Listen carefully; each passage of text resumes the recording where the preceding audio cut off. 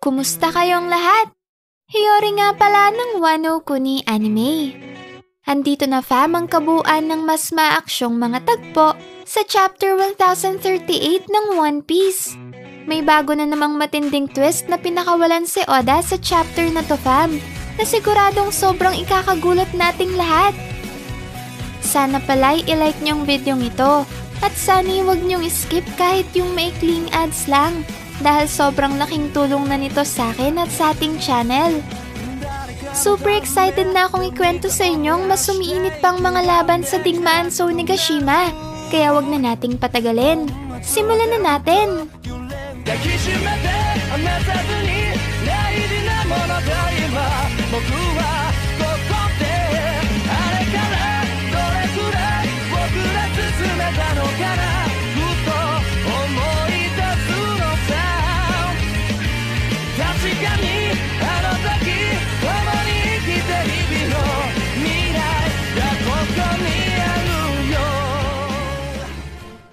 na natin ang cover page ng chapter 1038 na siyang ikatlong edisyon ng cover story na kinatatampukan ng Germa Kingdom na pinamagatang Niji and Yonji captured in Cocoa Island's Chocolate Town.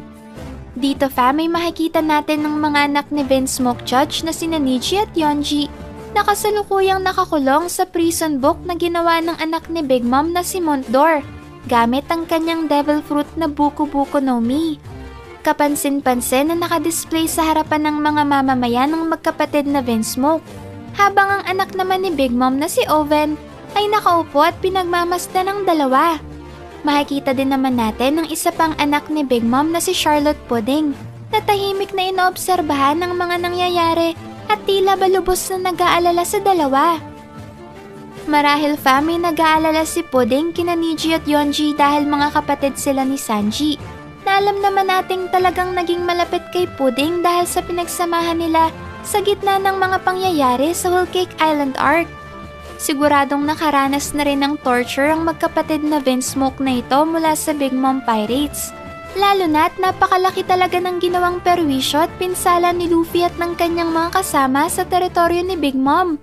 Kaya naman nakakatiyak tayo na ang dalawang magkapatid na ito ang pinagbuhusan at tumanggap ng matinding galit ni Big Mom at ng kanyang crew. Pero paano naman kaya si Katakuri fam? Hindi ba't sa pagtatapos ng laban nila ni Luffy ay tila ba nagkaroon na din siya ng malapit na kaugnayan kay Straw Hat? At makikita pa nga natin na napangiti ito at masaya pa siya nung nalaman niyang nakatakas si Luffy at ang kanyang mga kasama mula sa teritoryo ni Big Mom. So dahil nga sa may tuturing na din nating kaibigan ni Luffy si Katakuri fam, ano kaya ang gagawing aksyon nito ngayong nahuli ang mga naging kaalyado ni Luffy na sina Niji at Yonji? Gagawa kaya si Katakuri ng paraan para makatakas ang magkapatid na Vinsmoke? Siguradong pati si Pudding ay hindi din makakatiis sa tiyak na gagawa din ng aksyon para mailigtas ang dalawang kapatid ni Sanji. Grabe, nakaka-excite namang malaman kung ano talaga ang magiging kapalaran ni Niji at Yonji sa kamay ng Big Mom Pirates. Pero huwag kayong mag-alala fam dahil malalaman din natin yan sa pagpapatuloy ng cover story na to. Ngayong tapos na nating talakayin ng cover page, ay pumunta naman tayo sa mismong chapter. Kagad na nagsimula ang chapter 1038 sa pagpapatuloy ng malupit na laban sa pagitan ng dalawa sa pinakamagagaling na ninja ng Wano, ang isa sa mga scabbards na si Raizo laban sa tapat na tagapaglingkod ni Orochi na si Fukuro Kuju. Talaga namang literal na mas uminit pa ang laban na ito, fam. Dahil tuluyan na ngang nilamon ng apoy ang buong katawan ni Raizo. At kahit nga si Fukuro Kuju ay nagsisimula na ding lamunin ng apoy. Dito ay bakas sa mukha ni Fukuro Kuju ang pagkataranta at takot na sinasabing tanggalin na ni Raizo ang kanyang paralysis jutsu dahil kung hindi niya ito gagawin ay siguradong tuluyan na silang masusunog at magiging abo. Wala namang naging imik si Raizo at patuloy lang ito sa pagko-concentrate na para bang hindi nito alintana at baliwala lang sa kanya ang nag-aalab na apoy sa kanyang katawan. Siya nga pala fam, kung si Raizo ay nakakagawa ng mala Naruto ng mga techniques o jutsu dahil sa kanyang taglay na Maki Maki no Mi o Scroll Scroll Fruit, paano naman kaya nakakagamit ng mga mala ninja na abilities itong si Fukuro Kuju? Kasi hanggang ngayon fam hindi pa din nililinaw sa atin ni Oda kung devil fruit user din ba itong kanang kamay ni Orochi.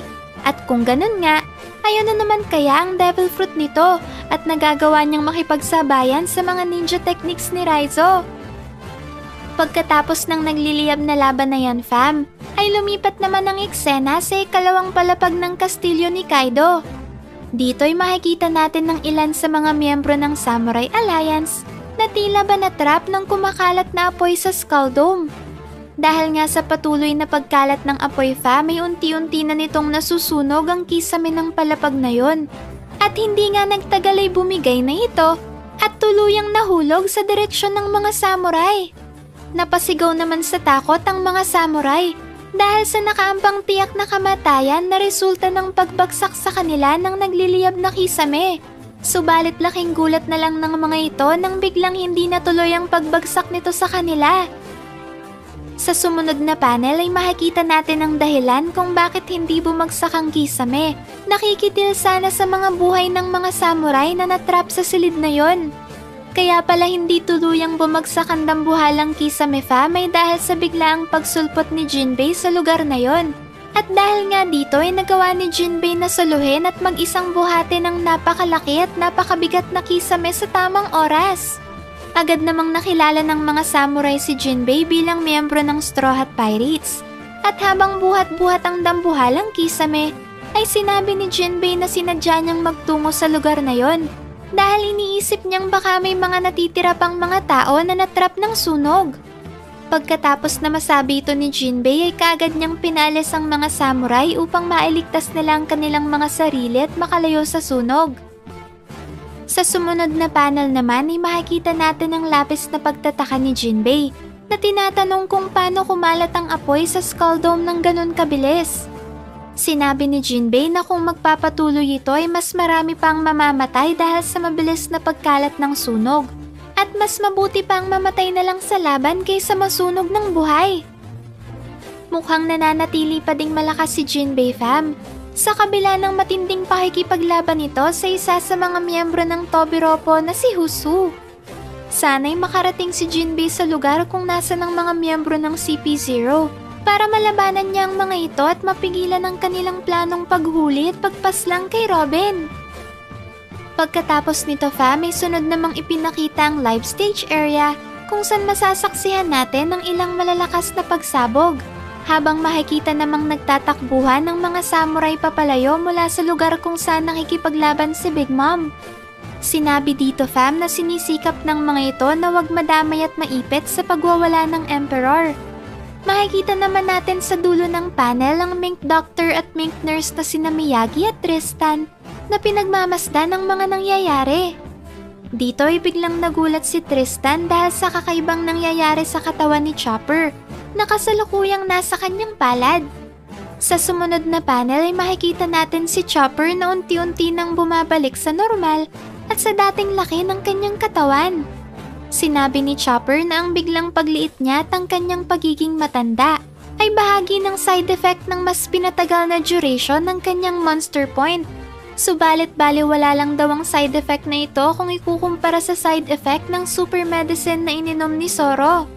Sinabi ni Chopper kay Dr. Miyagi na labi siyang nag-aalala sa kalagayan ngayon ni Soro dahil nga sa magiging masamang epekto ng super medicine mula sa Ming tribe na siyang magre-resulta upang ang kasalukuyang pinsala at sakit na tinanggap at nararamdaman ngayon ni Soro ay mas tumindi pa ng ilang beses. At dahil nga bago pa man inumin ni Soro ang super medicine na yon ay hindi na siya makagalaw pa dahil sa sobrang dami ng pinsala na kanyang tinamo sa laban ay hindi alam ni Chopper kung ano ang pwedeng mangyari kay Zoro kapag nagka-doble-doble pang sakit at pinsala na yon. Kaya naman hinihiling ni Chopper na sana'y wag mamatay si Zoro nang dahil sa masamang epekto ng ininom nitong super medicine. Pagkatapos na masabi ito ni Chopper Fa, may lumipat naman ng eksena sa labas ng Skull Dome kung saan matatagpuan ang sugatan at tadtad ng pinsala na katawan ni Zoro. Dito ay tila ba may kinakausap na misteryosong individual si Soro at tinatanong kung sino ba ito. Sa sumunod na panel naman fa, may masasaksihan natin ng isang lubhang nakakabahalang eksena kung saan makikita natin ng misteryosong individual na kausap ni Zoro na nakatayo sa kanyang harapan. At aktong aatakihin siya gamit ang isang scythe o malaking karet. Sinusubukan naman ni Zoro na igalaw ang kanyang katawan upang maiwasan ng ataking ito at maipagtanggol ang kanyang sarili. Subalit kahit anong pilit ay hindi siya makagalaw. Bigla namang ifinokus ang mukha ng misteryosong individual na ito na umaatake kay Zoro. At makikita natin na isa palang bungo ang ulo nito. Dito ay sinigawan ni Zoro ang misteryosong individual at sinabihang itigil na nito ang kanyang ginagawa na pag-atake. Talagang nakakabiglang pangyayaring ito fam at hindi natin alam kung ano bang totoong identity ng misteryosong individual na ito at kung bakit bigla na lang nitong inatake si Zoro. Katulad ng nabanggit natin sa huli nating video ay may tsansa na si Enma ang bungo na ito. Dahil ayon nga sa gumawa dito na si Shimotsuki Kusaboro ay Lord of the Underworld ang tunay na kahulugan ng pangalang Enma na siya namang sumasalamin sa itsura ng misteryosong individual na umaatake ngayon kay Zoro. Pero alam nyo fam, dahil sa bagong impormasyon na makikita natin sa paglabas ng full chapter na to ay masasabi natin na may mas malaking tsansa na miyembro ng CP0 ang bungo na ito na nagtatangka ngayon sa buhay ng ating Straw Hat Swordsman. Pero wag kayong mag-alala fam dahil mamaya lang ay mas mabibigyang linaw ang misteryong ito. Pagkatapos nga ng nakakagulat na eksenang yan fa, may saglit namang ipinakita si Frankie na ngayon ay nasa right brain tower ng kastilyo ni Kaido. Dito ay makikita natin si Frankie na tumatakbo at mabilis na pinapatumba ang mga tauhan ni Kaido na humaharang sa kanyang dinadaanan. Kapansin-pansing tila ba nagmamadali itong si Frankie fam dahil hinahanap nito ang kinaroroonan ngayon ni Zoro. Base din sa mapa na ipinakita dito ay sobrang lapit na ni Frankie kay Zoro. Kaya naman sana'y umabot sa tamang oras si Frankie dahil totoong nasa malaking panganib ngayon ang buhay ni Zoro. Pagkatapos nito fam ay lumipat naman ang eksena sa first floor attic kung sa nilalabanan ni Izo ang mga tauhan ni Kaido na umatake kina Yusop at sa mga kasamahan niyang scabards na sina Kinemon at Kiku. Dito ay makikita natin ng mga beast pirates na nagawang matalo ni Izo na nakalugmok na sa lupa. Hindi lubos maisip ng mga beast pirates na ito kung bakit ang isang dating Yonko commander ng Whitebeard Pirates ay pumunta sa Wano upang tulungan ng mga baguhang pirata ng mga supernova.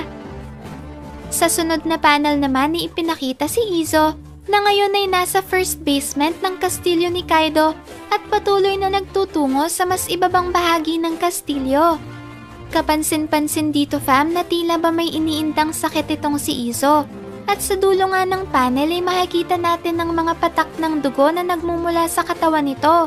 Na siyang ang tanda na marami itong tinamong sugat mula sa pakikipaglaban sa mga tauhan ni Kaido.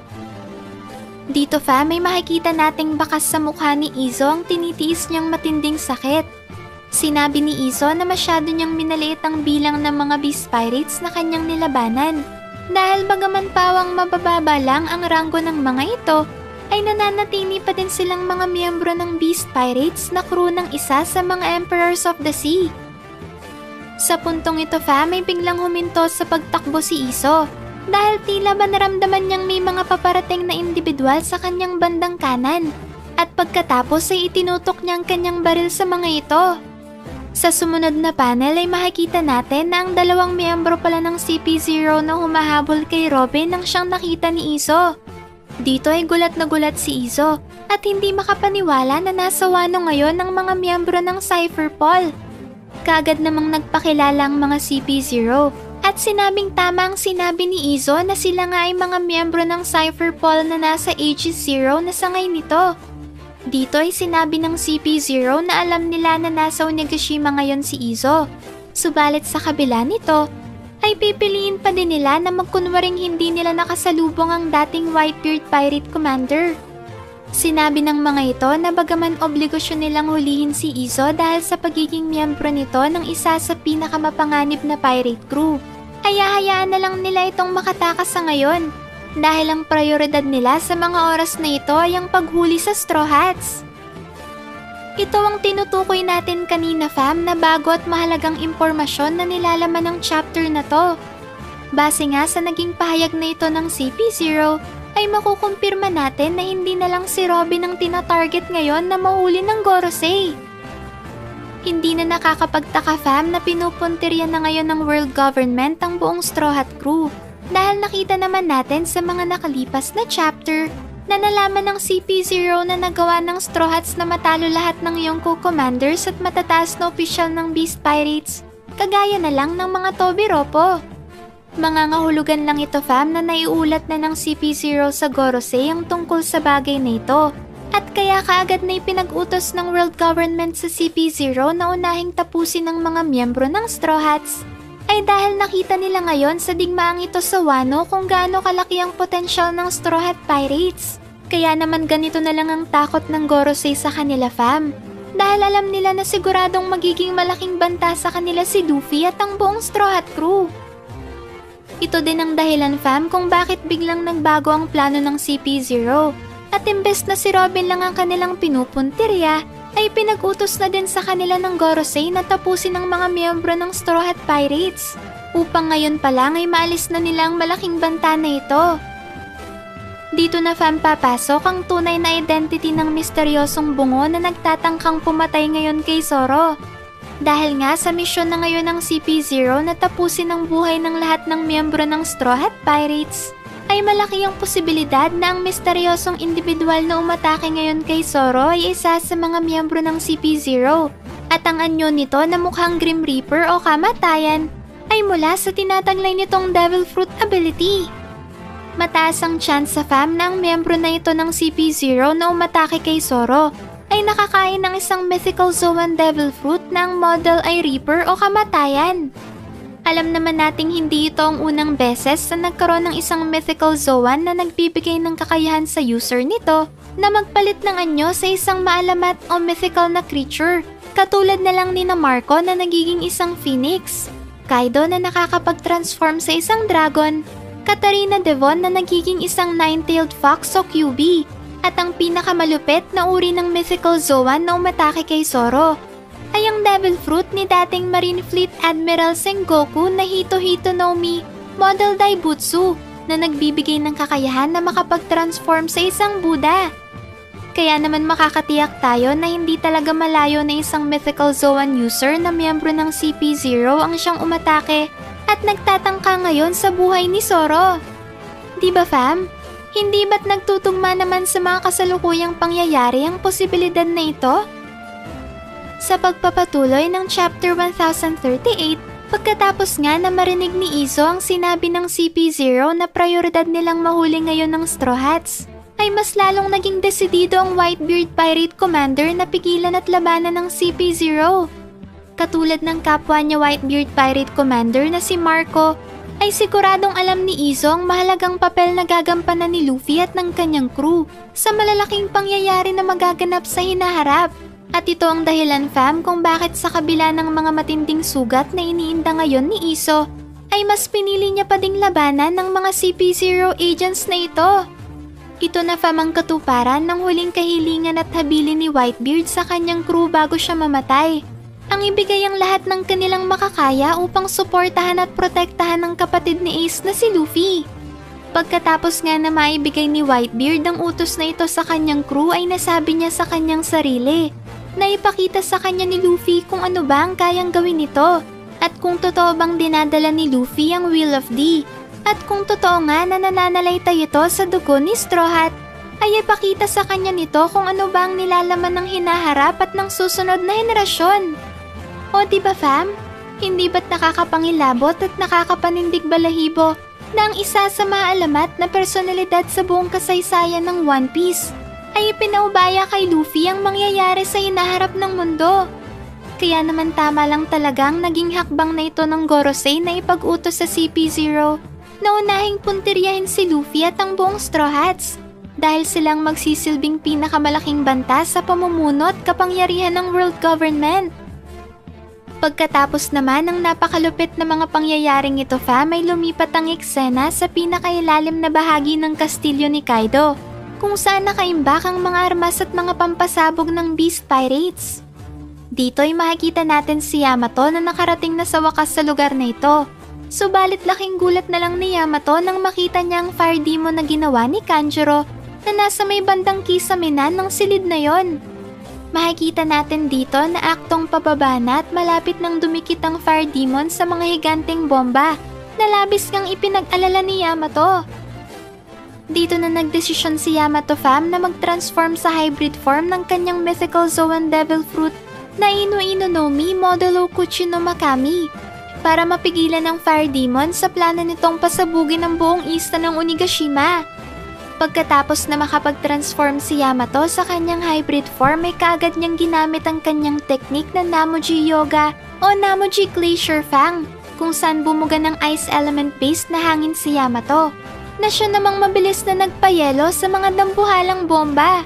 Sinabi dito ni Yamato na sa oras na sumabog ang malaking bomba na ito ay siguradong katapusan na nilang lahat. Sa sumunod na panel ay makikita naman natin ng fire demon na sinusubukan na tunawin ng yelo na bumabalot sa mga bomba.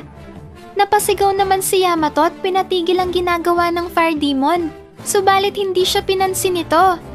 Dito na ginamit ni Yamato ang isang bagong atake na tinawag niyang Mahoroba o Horse Illusion Blade, kung saan pinalutan ni Yamato ng ice element ang kanyang kanabo at pagkatapos ay iniyampas ito ng malakas sa ulo ni Kazenbo.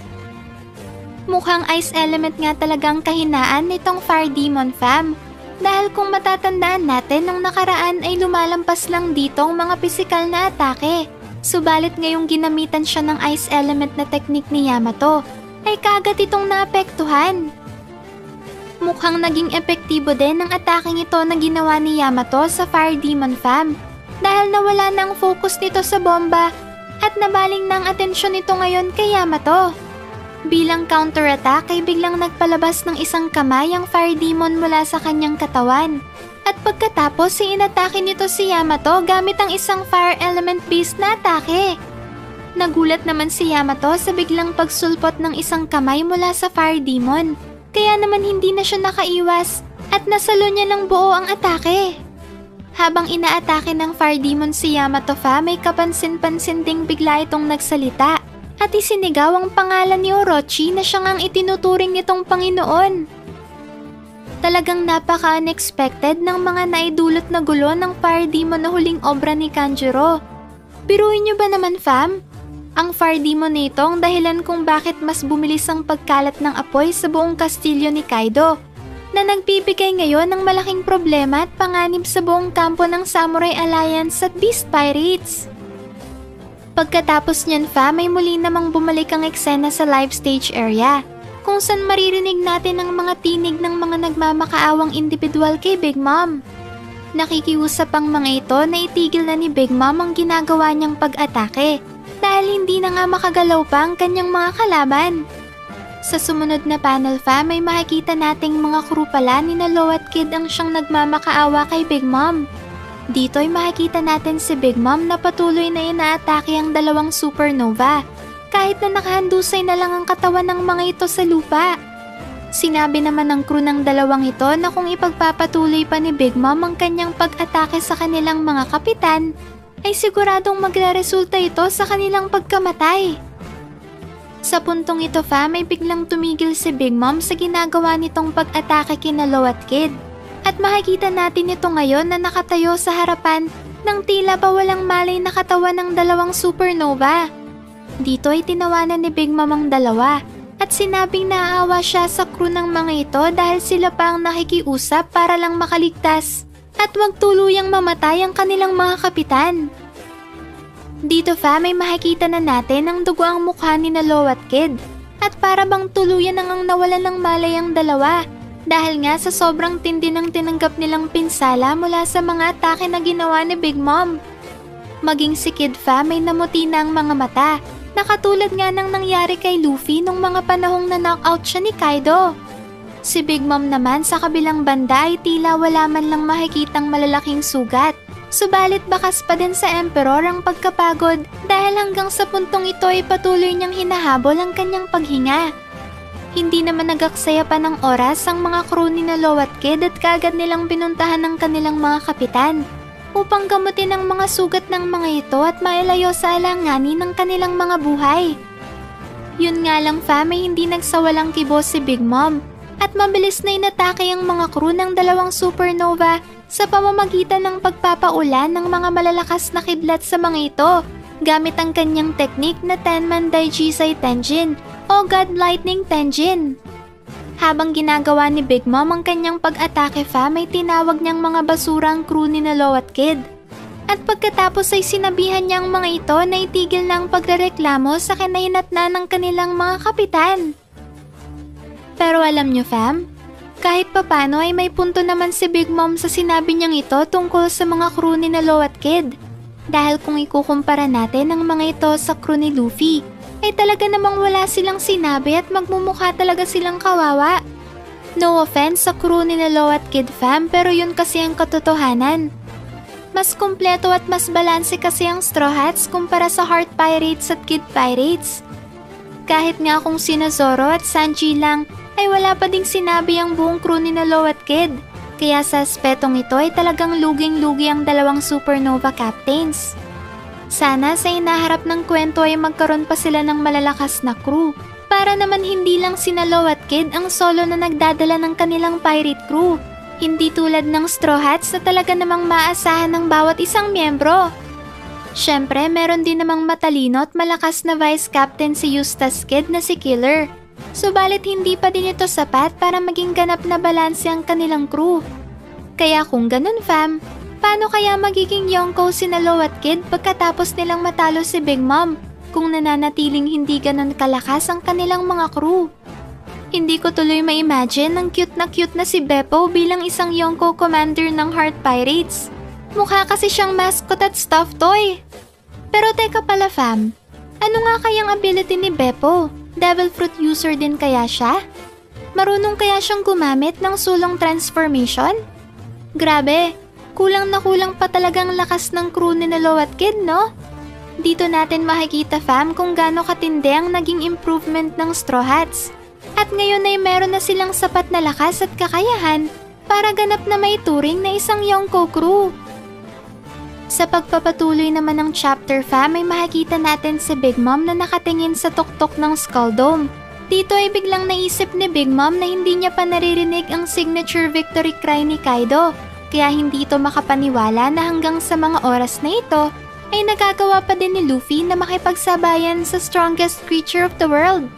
Sa puntong ito na nga fam nagdesisyon si Big Mom na dumiretso sa tuktok ng Skull Dome upang tulungan si Kaido na tapusin si Luffy. Dito ay makikita natin si Big Mom na inutusan si Hera na lumipad papunta doon. Habang sinasabi na wag niya lang sanang makita si Kaido na pinaglalaroan ng kanyang pagkain. Dagdag pa ni Linlin ay malapit na siyang maubusan ng lakas. Kaya kailangang tapusin na niya agad ang laban sa oras na sumali na siya sa laban ni na Luffy at Kaido. Bigla naman nating makikita si Lon na muling ginamit ang Devil Fruit Awakening na Krumat Anesthesia kung saan nagagawa ni Lon na may teleport ang kanyang espada sa loob ng mismong katawan ng kanyang kalaban. Wala namang kamalay-malay si Big Mom na nakabangon ng muli ang kanyang kalaban at makikita natin dito na naghahanda na siya muli para sa isang matinding pag-atake. Dito fa may sumigaw si Lo at sinabing ito na ang katapusan ng kanilang laban ni Big Mom. At sa isang ang nakakamanghang double page ay makikita natin ang sandata ni Lo na naging isang dambuhalang espada na bigla na lang tumagos sa kanang braso hanggang sa loob ng ulo ni Big Mom. Labis namang ikinagulat ni Big Mom ang pangyayaring ito at mukhang hindi pa din napapansin ng kanyang mga homies na may umaatake na ngayon sa kanilang amo. Dito fa may makikita naman natin ang labis na pagkabigla at ang hindi makapaniwalang reaksyon ng mga tauhan ni Kaido sa kanilang nakita at inakala pa nga nila na napatay na nilo si Big Mom dahil nga sa dambuhalang espada na nakatusok sa ulo ng Emperor. Makikita din natin si Chopper na pinapanood pa lang nagaganap na laban at tinatanong kung ano ba ang dambuhalang espada na yon. Nagsalita naman si Lo at sinabing katulad ng huli niyang ginawang pag-atake ay hindi mararamdaman ni Big Mom ang pagtusok ng espada sa kanyang katawan. Galit namang sumagot si Big Mom at sinabing itigil na ni Lo kung ano man ang kanyang ginagawa.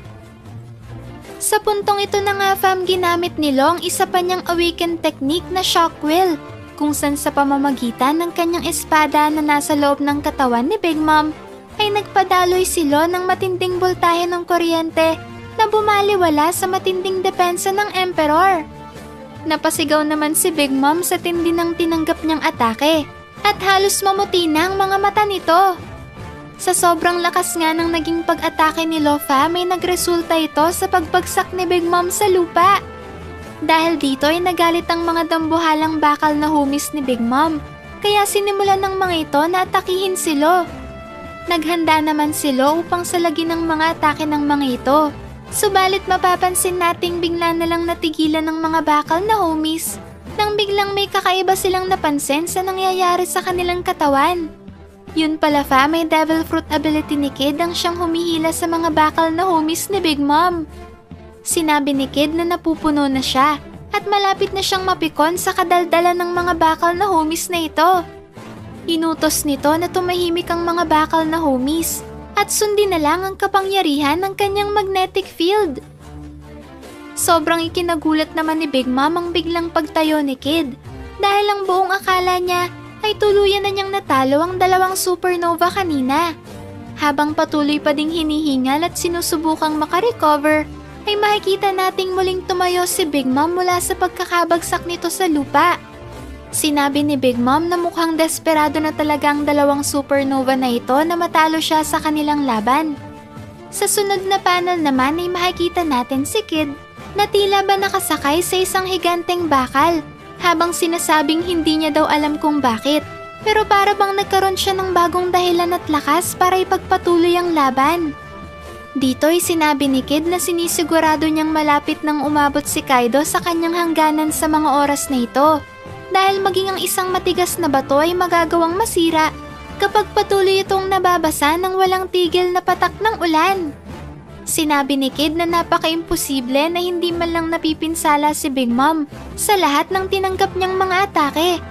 At nakakatiyak siya na kahit maging ang mga emperor ay nakakaramdam din ng sakit. Sa isa na namang nakakabilib at kahangahangang double page fam, ay ginamit ni Kid ang isang bagong awakened na atake na tinawag niyang Punk Cornadillo, kung saan gamit ang mga dambuhalang bakal ay gumawa si Kid ng isang higanteng toro na mas malaki pa sa giant form ni Big Mom. At sa pamamagitan ng higanteng toro na ito fam, ay buong persang binunggo ni Kid si Big Mom. Sa sobrang lakas nga ng impact ay tumilapon ang katawan ni Big Mom na tila ba nasagasaan ito ng isang rumaragasang tren. Pagkatapos nga ng back-to-back na awakened attacks na ito ni Nalo at Kid, ay masasaksihan natin ang isa pang napakaastig na eksena. Dito ay magkasabay sumigaw ang dalawang supernova at sinabing kahit anong mangyari ay hindi nila hahayaan si Big Mom na makarating sa tuktok ng Skull Dome kahit na ikamatay pa nila ang pagpigil dito. Grabe fam, Talagang ibinubuhos na ni na at Kid ang lahat ng kanilang makakaya at wala na silang natitira pang reserbasyon sa labang ito. Pero sapat na nga kaya ang mga ataking ito para tuluyan ng mapatumba si Big Mom? O magpapatuloy pa din kaya ang kanilang laban? Naku fam, pasensya na kayo at napahaba na naman ang ating video. Hindi ko lang talaga maiwasang mahype at maibuhos lahat ng mga exciting na naiisip nating ideas at mga pwedeng mangyari sa hinaharap ng kwento. At syempre, ang pinakamagandang balita sa chapter na to fam, ay sa wakas ay wala na ulit break ang One Piece sa susunod na linggo. Kaya patuloy lang nating ma-enjoy ang pinaka-astig na manga sa buong mundo. Ano sa tingin nyo? Sino nga kaya ang misteryosong individual na nagtatangkang pumatay kay Zoro? Maraming salamat sa inyo fam sa solid at walang sawa niyong pagsuporta. Mag-iingat kayo palagi. See you on our next video and stay good fam!